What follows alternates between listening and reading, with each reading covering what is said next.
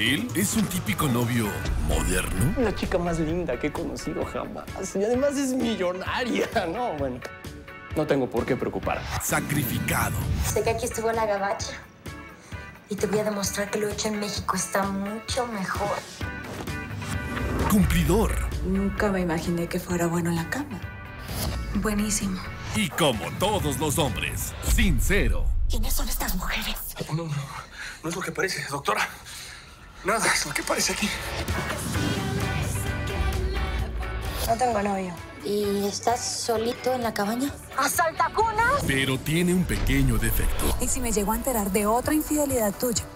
Por insignificante que sea. ¿Estás desnuda? ¿No que estaba solo? No te quiero volver a ver en la vida. ¿Y, y la boda?